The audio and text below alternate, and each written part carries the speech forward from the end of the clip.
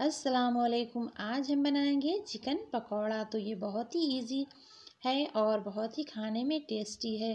तो इसको बनाने के लिए हमने यहाँ पर लिया है 200 ग्राम चिकन, जिसको हमने छोटे छोटे टुकड़ों में कट कर लिया है। यहाँ पर हम डालेंगे आधा चम्मच नमक, एक चम्मच चिली फ्लेक्स और एक चम्मच भुना हुआ ज़ीरा और एक चम्मच चाट मसाला और आधा चम्मच हम हल्दी पाउडर डाल लेंगे यहाँ पर और एक नींबू को हम अच्छे से इसमें निचोड़ देंगे।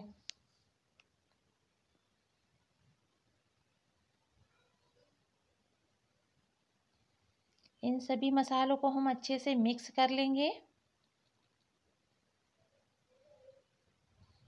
और यहाँ पर हम एक चम्मच अदरक लहसुन का पेस्ट डालेंगे और फिर हम अच्छे से इसको मिक्स कर लेंगे। और इसको हम 20 मिनट के लिए रेस्ट पर रख देंगे। यहाँ पर हमने लिया है चार चम्मच मैदे, मैदा और उसको हमने पेस्ट बना लिया है अच्छे से।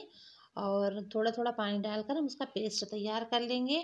और यहाँ पर है ब्रेड क्रम्स तो पहले हम मैदे में अपनी चिकन को डालेंगे और फिर ब्रेड क्रम्स से कोट कर लेंगे। इसी तरीके से सारे पीस हम बनाकर तैयार कर लेंगे।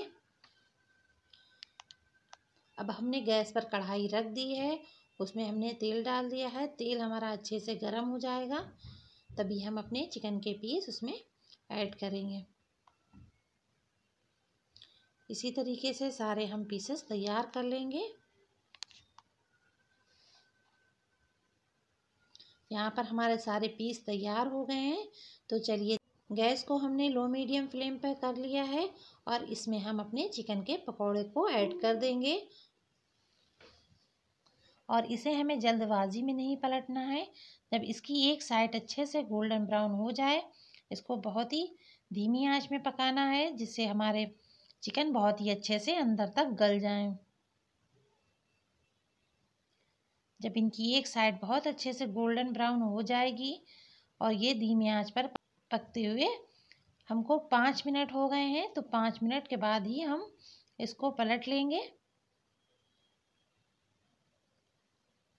और फिर इसी तरीके से पलट कर भी हमें अच्छे से तल लेना है। और ये हमारे देखिए क्रिस्पी से चिकन पकौड़ा बनकर तैयार हो गए हैं। और अब हमने इसको निकाल लिया है। अब हम इसमें दूसरा बैच डालेंगे और उनको भी इसी तरीके से तल लेंगे।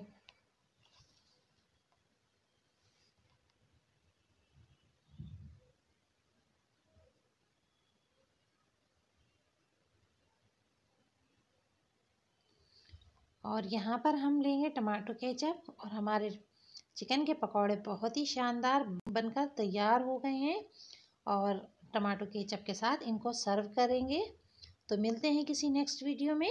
अल्लाह हाफिज़।